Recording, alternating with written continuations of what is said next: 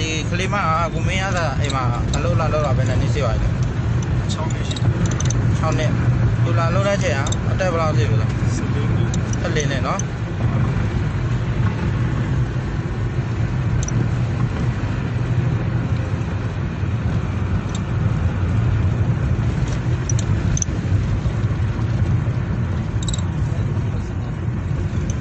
ဘုရားအဲ့လိုပဲပြော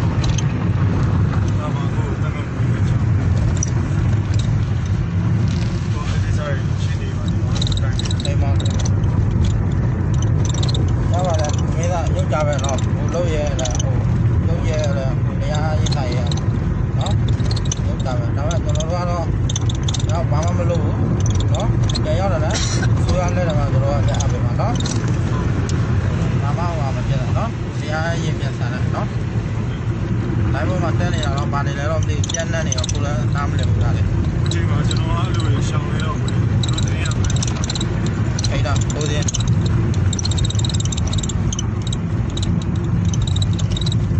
တော်ကဘောလည်းရှင်းနေလဲပို့တယ်ဝေချင်းခက်ခဲလေးနဲ့ရှိနေတယ်ကားတွေပါရောင်းတာအဆက်မရဘူးလို့ဖြစ်တယ် တော့ဒီကား ဘယ်လိုကားလဲယူလာတာကားခုကကျွန်တော်တကယ်ကခဏနာဟုတ်လားတော့ကိုမရတာကားရောစကျွန်တော်ကမလေးဆက်ကခုနငားလာတယ်ဟုတ်လားကျွန်တော်ကရောင်းခိုင်းတာတယ်ဟောဒါယူလာတဲ့ကားကိုမရတာကားမဟုတ်နော်အဲ့ဒီပါလား630လား6 6တော့6တူရတော့6အဲ6တော့ရ6ဟုတ်တယ်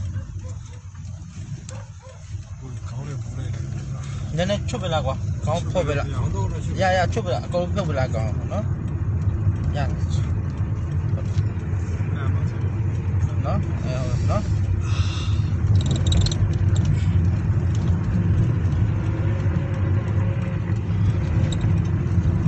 ဒီဘက်ဘယ်လိုကြော်ပြီးတော့ရောက်လာတာလဲ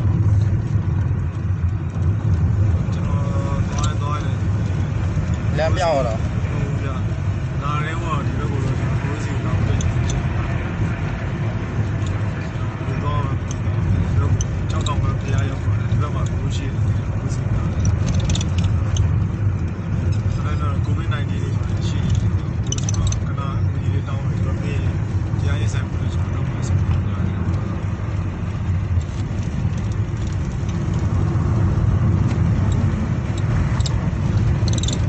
ကဲဟု တ်ပြီနော်ကျွန်တော်တရားပြန်ရတော့နိုင်ငံတော်အစိုးရရောပြန်အပ်ပေးပါမယ်နော်